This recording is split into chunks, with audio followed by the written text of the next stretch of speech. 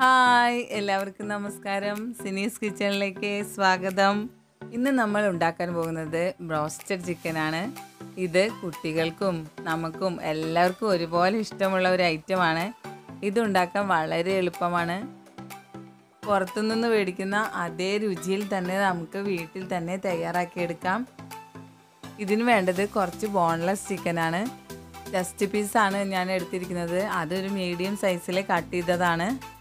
കഴുകിയെടുത്ത ചിക്കനാണ് ഇതൊക്കെ. ഇത് കഴുകിയെടുക്കുന്നതിന് പെട്ടെന്ന് നമുക്ക് കഴുകിയെടുക്കാൻ വേണ്ടിയിട്ട് കുറച്ച് മൈദപ്പൊടി ഇട്ടിട്ട് ചിക്കൻ കഴുകിയെടുക്കുകയാണെങ്കിൽ നല്ല വൃത്തിയാക്കി കിട്ടും. പിന്നെ വേണ്ടത് ഞാൻ ഇതിലേക്ക് ഒഴിക്കുന്നത് ചെറുനാരങ്ങേന്റെ നീരാണ്. ഒരു ടീസ്പൂൺ ചെറുനാരങ്ങ നീര് ഇഞ്ചിയും വെളുത്തുള്ളിയുടെയും പേസ്റ്റ് ഒരു ടീസ്പൂൺ. പിന്നെ വേണ്ടത് ഒരു വലിയ സ്പൂൺ കുരുമുളക് പൊടിയാണ്. ഒരു വലിയ സ്പൂൺ മുളക് പൊടി ഇട്ടിട്ടുണ്ട്.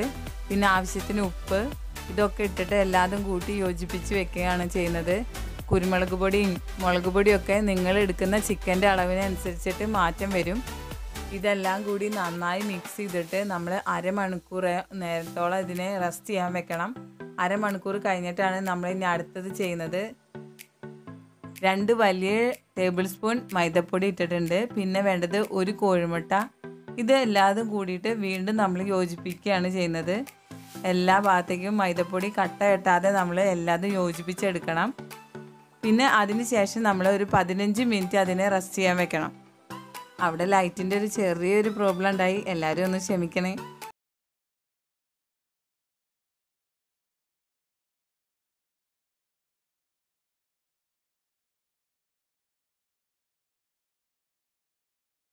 മുകളിലേക്ക് ഒരു കോട്ടിങ് വരുത്താൻ വേണ്ടിയിട്ട് ഒരു രണ്ട് കപ്പ് മൈദപ്പൊടി അര കപ്പ് കോൺഫ്ലവറിന്റെ പൊടി പിന്നെ വേണ്ടത് ഒരു ഒരു ടീസ്പൂൺ കുരുമുളക് പൊടി പിന്നെ വേണ്ടത് മുളക് പൊടി ഒരു കാ ടീസ്പൂൺ മുളക് പൊടി ആവശ്യത്തിന് ഉപ്പ് ഇതെല്ലാതും കൂടി ചേർത്ത് മാറ്റി വെക്കണം.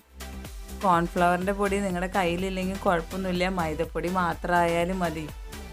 നമ്മൾ കോൺഫ്ലവർ ഇടുന്നത് കുറച്ച് ക്രിസ്പി ആവാൻ വേണ്ടിയിട്ടാണ് കോൺഫ്ലവർ ഉപയോഗിക്കുന്നത്. പിന്നെ കുറച്ച് വെള്ളം നമ്മൾ ഒരു ബൗളിൽ എടുക്കുന്നുണ്ട്. അതെന്തിനാന്ന് വെച്ചാൽ ഈ ചിക്കന്റെ പീസ് അതിൽ മുക്കി എടുക്കുന്നതിനാണ് ഞാനിതിൽ കാണിക്കുന്നുണ്ട്. അതേപോലെ ചെയ്താൽ മതി. ചിക്കൻ എടുത്തിട്ട് നമ്മൾ ഈ പൊടിയിൽ നല്ലോണം ഡിപ്പ് ചെയ്തതിന് ശേഷം എല്ലാ എല്ലാ ചിക്കനും ഓരോ പീസും എടുത്ത് നമ്മൾ ഇതേപോലെ നല്ലോണം അമർത്തി പ്രസ് ചെയ്തതിന് ശേഷം പൊടിയിൽ നല്ലോണം മുക്കിയെടുക്കണം അങ്ങനെ ഓരോ പീസും നമ്മൾ മുക്കിയെടുത്തിട്ട് നമ്മളത് മാറ്റി വെക്കുകയാണ് ചെയ്യുന്നത്. അങ്ങനെ എല്ലാ പീസും പൊടിയിൽ മുക്കി ഇതേപോലെ മാറ്റി മാറ്റി എടുത്ത് വെക്കണം.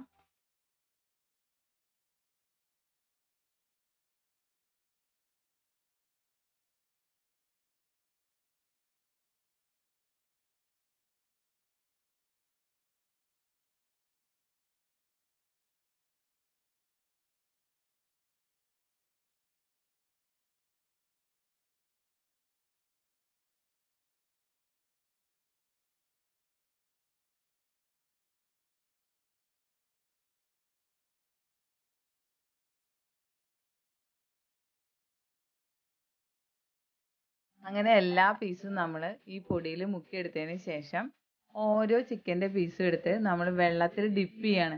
ഡിപ്പ് ചെയ്തിട്ട് കുറേ നേരം അതിൽ ഇടാൻ പാടില്ല. ഒരു രണ്ട് സെക്കൻഡ് ഇട്ടതിന് ശേഷം അപ്പം തന്നെ നമ്മൾ എടുക്കണം.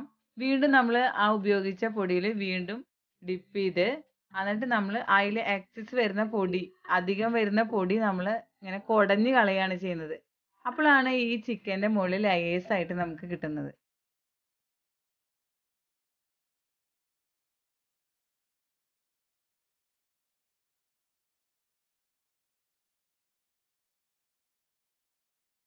നിങ്ങളുടെ സൗകര്യത്തിന് എല്ലാതും ഇങ്ങനെ കോട്ട് ചെയ്തെടുക്കാം. അല്ലെങ്കിൽ ഒരു പാനിൽ സൺഫ്ലവർ ഓയിൽ വെച്ചതിന് ശേഷം ഇതേപോലെ വെള്ളത്തിലും പൊടിയിലും കോട്ട് ചെയ്തതിന് ശേഷം നേരെ ഓയിലിലേക്ക് ഇട്ട് കൊടുക്കാം.